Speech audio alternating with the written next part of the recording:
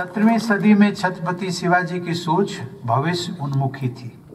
उन्होंने आठ मंत्रियों के अपने मंत्री परिषद जिसे अष्ट प्रधान भी कहा जाता था, के सहयोग से अनेक दूरगामी प्रभाव के निर्णय लिए। भारत की पहली आधुनिक नौसेना का निर्माण छत्रपति शिवाजी ने ही किया।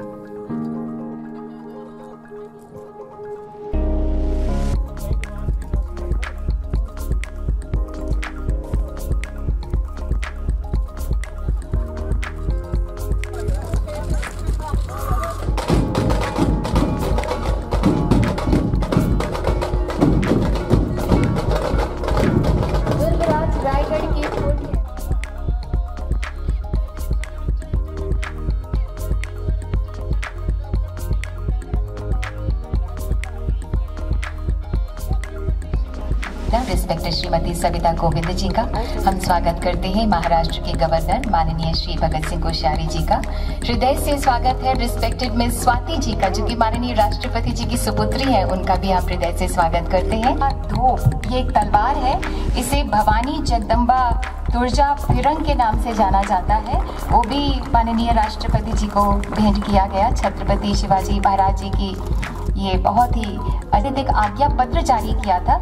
उसी का संकलित रूप है ये जो माननीय राष्ट्रपति जी को भेंट किया जा रहा है।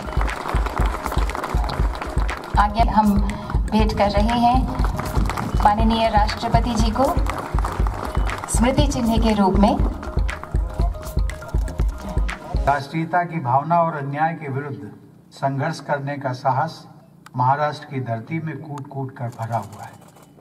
19वीं सदी में महात्मा फूले, सावित्रीबाई फूले और महादेव गोविंद रानाडे ने जिस सामाजिक ऊर्जा और चेतना को जन्म दिया, उसे बाल गंगाधर तिलक, गोपाल कृष्ण गोखले तथा बाबा साहब आम्बेडकर जैसी महाराष्ट्र से जुड़ी महान विभूतियों ने आगे बढ़ाया। राष्ट्रपिता महात्मा गांधी ने भी स्वाधीनता संग्राम के अंतिम चरण के दौरान सेवाग्राम आश्रम से नेतृत्व प्रदान किया। सौंदर्य के साथ साथ आधुनिक विकास के दृश्य भी देखने को मिलेंगे। ऐसा करके हम छत्रपति शिवाजी महाराज के हिंदवी स्वराज की परिकल्पना को 21वीं सदी के संदर्भ में और आगे बढ़ा सकेंगे। आप सभी को मेरी बहुत बहुत शुभकामनाएँ। धन्यवाद। जय हिंद। वहाँ ग्रीन हाउस में रखवा दे। ग्रीन हाउस में रखवा महाराष्ट्र टाइम्सचं यूट्यूब चॅनल सबस्क्राईब करा आणि लेटेस्ट अपडेटसाठी बेल आयकनवर क्लिक करा.